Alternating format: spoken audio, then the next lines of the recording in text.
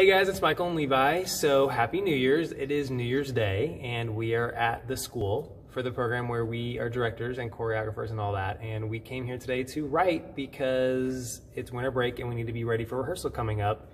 Um, Levi, how was writing today? How are you feeling?